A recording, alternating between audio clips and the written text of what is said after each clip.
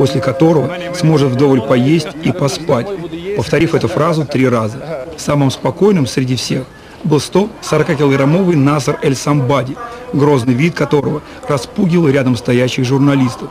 Ронни Колема явно тяжело переживал процесс углеводной ямы, что доставляло большие сложности в заполнении таможенной декларации. Хотя об этом он мог и не беспокоиться, так как он сам служит в полиции Техаса. Вообще объемы багажа, взятые на недельный тур по Европе, несколько удивляли. Стоило только догадываться, что служило тому причиной – количество провианта, взятого с собой или нечто другое, например, витамины. Жаль одного, что из-за нехватки времени атлетам приходилось только показывать себя и совсем не было возможности посмотреть достопримечательности белокаменной столицы. Да и других городов Европы тоже – отдохнуть и немножко поспать можно было развить только что в полете или в автобусе, следовавшем до очередной гостиницы. Местом размещения монстров культуризма на этот раз стал столичный отель «Аэростар», в холле которого спортсменам удалось немножко расслабиться за фужером шампанского и послушать мелодичную фортепианную музыку, доносившуюся откуда-то сверху. И снова в дорогу, на этот раз в ресторан «38 попугаев», где мне, как хозяину, было приятно по-нашему, по-русски встретить этих дорогих для меня гостей. Правда, через какое-то время меня охватил ужас. Хватит ли запасов на кухне? Настолько велик был темп поглощения съестного. К счастью, Перед соревнованием, как выяснилось, спортсмены не собирались основательно загружаться, поскольку это могло сказаться на рельефе такой важной части тела, как живот. В отличие от других, молчаливый Кевин Леврони не просто поглощал пищу, а даже пытался экспериментировать. Like Смешав русский квас с водкой один к одному, он подарил мне рецепт оригинального коктейля, назвав его своим именем, который отныне посетители смогут увидеть в меню ресторана. Ну а самым приятным для всех поклонников бодибилдинга было появление в фойе киноконцертного зала Пушкинский их кассетных и журнальных кумиров, которых на этот раз можно было потрогать руками и даже взять долгожданный автограф. Само же шоу еще предстояло, и до определения победителя было еще ох, как далеко. Немало повидал на своем веку киноконцертный зал Пушкинский но столько тяжелых массивных людей еще ни разу не выходило на его сцену. По традиции, соревнования культуристов открывает тур «Симметрия». Атлеты строятся в ряд, и судьи оценивают пропорциональность и симметричность их сложения. В последние годы у судей в части культуриста с большой мышечной массой. Поменялась лишь мода на прически – все теперь стригутся наголо. По словам самих атлетов, делается для того, чтобы оптически тело казалось крупнее рядом с маленькой головой. Москвич Сергей Шелестов и два атлета с ближнего зарубежья со своими прическами безнадежно отстали от западной моды. Наверное, поэтому не смогли войти в шестерку сильнейших. Кстати, только они на этом турнире не имели карт профессионалов. Но тщеславное желание зарубиться с профи заставило их выйти на подиум вместе с могучими новобранцами. И надо заметить, наши атлеты неплохо смотрелись. Единственное, чего не хватало Сергею Шелесту, так это качественной проработки мышц. А она, как известно, во многом зависит от дозы диуретиков, вредных для здоровья мочегонных препаратов на Гран-при России допинг-контроль не проводился, и потому многие заокеанские атлеты выглядели даже лучше, чем на Олимпе. Они не только не утратили свои пиковые формы, но напротив, даже улучшили ее. Самой красивой частью любого культуристического турнира, безусловно, является показательное выступление. Здесь, как и в художественной гимнастике и фигурном катании, грань между спортом и искусством стирается. Показательное выступление похоже на оригинальный танец, художественный уровень которого полностью зависит от артистизма и пластики культуриста. Особенно мне понравилась композиция Винса Тейлора – Трудно было поверить, что этому человеку, двигающемуся с грацией черной пантеры, уже перевалило за 40. На Олимпе он выступал среди ветеранов. Большинство атлетов не решается выступать под медленную лирическую музыку. Для этого необходимо уметь плавно двигаться, как бы перетекая из одной позы в другую. Винс Тейлор же блестяще справился с этой нелегкой задачей. По второй части композиции он изображал робота под столь любимую нашему народу Макарену. Винс так сумел завести зал, что ему аплодировали стоя. И куда только смотрят кинорежиссеры, еще ни разу не снявшие его в главной роли. Остальные атлеты предпочитали выступать под ритмическую, торжественную музыку с двудольным размером. На каждую сильную долю они меняли позу, отчего их композиции смотрелись весьма динамично.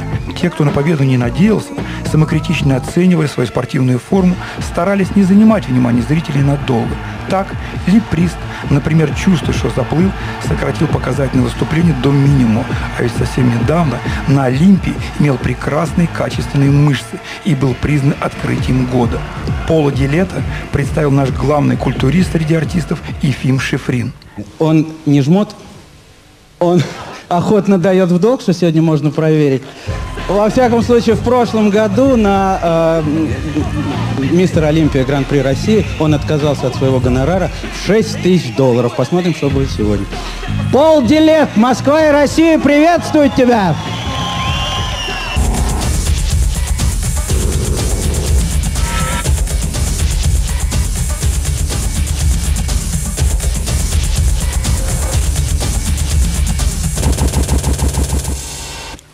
Как я и обещал, сегодня продолжение рассказа о финале турнира Гран-при России, который многие несправедливо именуют шоу.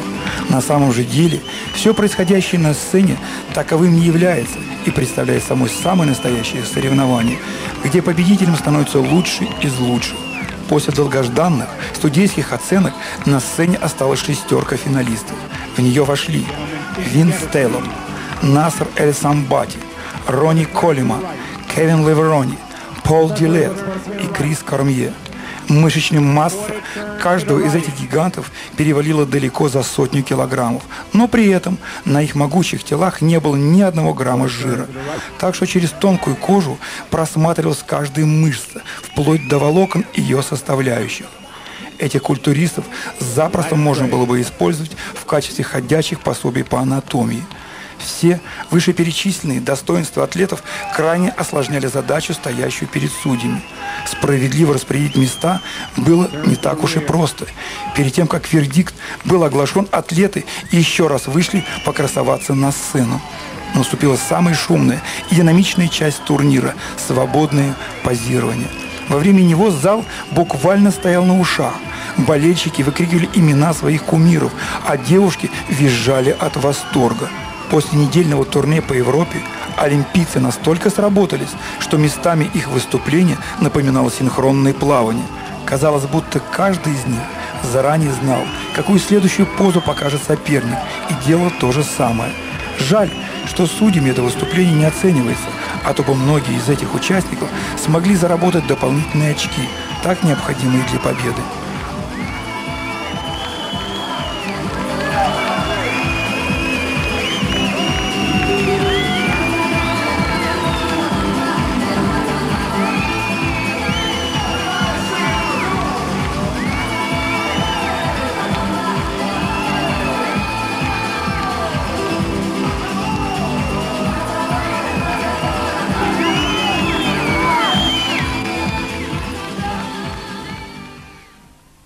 Но вот эмоции стихли, и в зале прозвучали имена победителей. На этот раз третьим стал самый массивный из всех бакалавров египтянин Наср Эль-Самбати. Серебряная медаль досталась Кевину Леврони за шесть дней тура, покорившему всю Европу, но только не Москву. Столица же отдала пальму первенства Рони Колиману, самому могучему из всех полицейских в мире. Рони – единственный профи высокого класса, продолжающий работать. По-моему, живя в таком режиме, невозможно было бы не только победить, но и просто выжить. Тем не менее, Ронни Колеман жив и здоров и прекрасно себя чувствует, получив награду кругленькую сумму в баксах и довесок 40-килограммовый бронзовый торс. Думаю, теперь Рони свободно сможет на полгодика оставить работу и вдоволь отдохнуть, раскинув на теплом песочке Лонг-Бича свои могучие конечности. Как оказалось, представление наших соотечественников о культуризме весьма поверхностно и сводится лишь к одному – вредно это для здоровья или нет. Я понимаю, спокойно отношусь, но как мужчина я их не воспринимаю. Почему? Ну, То есть, мне кажется, это все неестественно. Во-первых, очень вредно для здоровья, мне кажется. И этот вид спорта э, как-то влияет немножко на умственное развитие. Не, на самом деле вот такая штука. Пользуясь уникальной возможностью пообщаться лично с лучшими из лучших, победителями самых престижных мировых турниров, последователями Шварценеггера, мы решили спросить их мнение о том, в чем же заключается их таинственный имидж, без которого бешеная мировая популярность этого вида спорта была бы просто невозможна. Интересная закономерность. В бодибилдинге самый большой недостаток – ограниченность, с которой начинающий качок должен расстаться в первую очередь. Может быть, именно поэтому некоторые современные звезды пришли в этот спорт весьма витиеватым путем. Этот атлет закончил Аугсбургский университет. Он бакалавр истории, политологии, социологии. Он владеет свободно шестью языками. Итак, встречайте, Насар Эль-Самбади. Нассер считает, что семь с половиной лет учебы в университете и его знания в политике, социологии, истории дали ему силы и возможность в течение 14 лет искать свой путь в бодибилдинге – из которых последние три принесли ему победы и признание на крупнейших турнирах. Он не намерен бросать спорт, но в любом случае уверен, что найдет себе занятие по душе в будущем. Вы, наверное, догадываетесь, что звезды – это весьма благополучное сословие. Однако вряд ли кому придет в голову, что стимулом к такого рода деятельности могла послужить личная трагедия. Кевин Леврон, начавший тренироваться после того, как болезнь унесла жизнь его родителей – делает это ради больных детей, отдавая все свободное время и деньги центру Кеннеди, детскому центру Джона Хопкинса лично работает с детьми в области оздоровления. Он убежден, что с помощью медленной музыки, правильного построения линий своей мускулатуры, он способен возбуждать у зрителей поэтические эмоции. И это, несомненно, связано с его романтической индивидуальностью.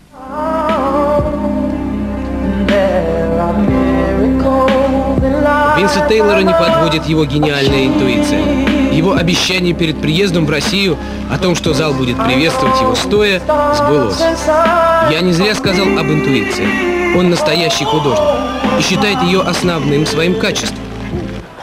Секрет в том, чтобы стать музыкой, я посылаю сигнал своим телом, и люди чувствуют это. А настоящее искусство не может оставить публику равнодушной. Бодибилдинг Шоу и киноиндустрия давно слились в одно целое, и Полдилет по настоянию своего продюсера работает над новым имиджем классического хичкоковского героя, которого, видимо, воплотит на киноэкране. Пока с него лишь рисовали карикатуры и использовали его типаж для создания мультипликационных персонажей. В жизни Пол – серьезный и преуспевающий бизнесмен и специалист по внешней торговле. Он считает, что выступление на сцене должно носить непринужденный характер. Надо стать для зрителей своим парнем, как и в жизни, и успех обеспечен. Ронни Колман, кстати, чемпион московского турнира, поддерживает свой имидж идеологии, присущей его профессии – офицера далласской полиции. Он доказал, что может стать чемпионом без использования стероидов, то есть чистым путем. Он мыслит масштабно и практично. Россия и Штаты – две сильнейшие державы мира. Россию уважают. И Россия уважает бодибилдинг. По поводу памятного изваяния Ронни недвусмысленно заметил, что в нем не хватает одной единственной детали – его головы. Те, кто согласен с мнением звезд, теперь могут узнать, где и как они тренируются, что едят и как отдыхают из наших будущих сюжетов только на канале НТВ. комитета. Приятно было осознать, что и наша телекомпания внесла свою лепту в дело популяризации этого вида спорта, постоянно освещая на канале НТВ+, все крупнейшие турниры по бодибилдингу. Также нельзя не отметить вклад президента Российского Олимпийского комитета Виталия Георгиевича Смирнова, который в конце 1997 года на встрече с Беном Вайдером откликнулся на его просьбу о ходатайстве перед президентом Международного Олимпийского комитета Хуаном Антонио Самаранчем за признание бодибилдинга. Тогда в удачу верил с трудом. Но сегодня, когда сделан первый шаг в продвижении культуризма на Олимп, появилась надежда на скорое включение этого прекрасного вида спорта в программу Олимпийских игр.